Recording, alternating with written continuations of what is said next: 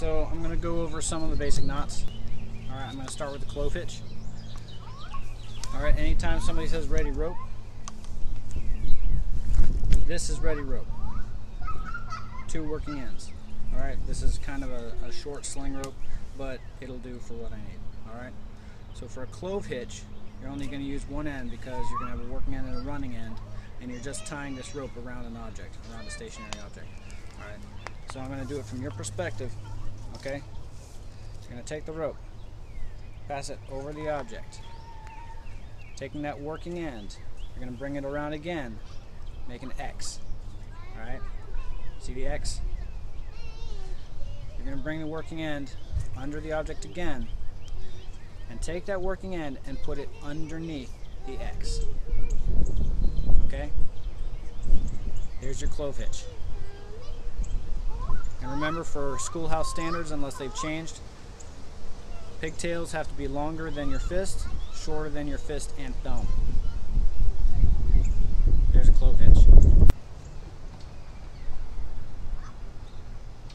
Alright, so this is a clove hitch.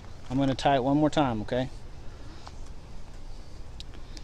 I'm going to tie it quickly so that you can see how fast it can be done. Slow is smooth, smooth is fast. Alright, and that was kind of slow anyway. Alright, but there it is. Now I'm going to break it down for you. Take the running end of the rope, pass it over the object.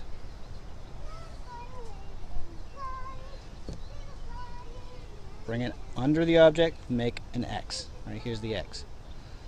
Take the working end, bring it back underneath, all right, and pass it underneath through the middle of the X. All right, there we go. Tighten it up. Perfect. One more time from a different angle.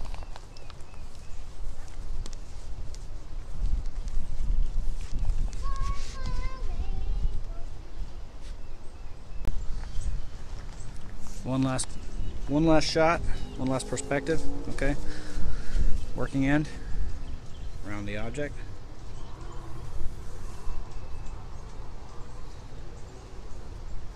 Did an X.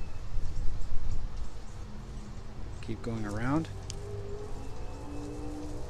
Lift up the X. Pass this through the X.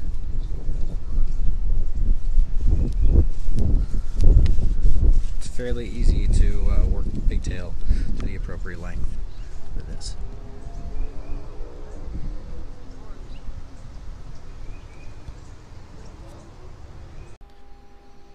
Alright guys, uh, this concludes the clove hitch tutorial.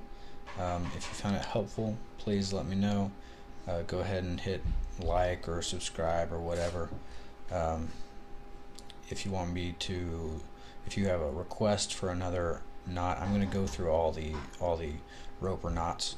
Um, I'm just starting with the clove hitch. I'm working on the bowline now. I'm just editing.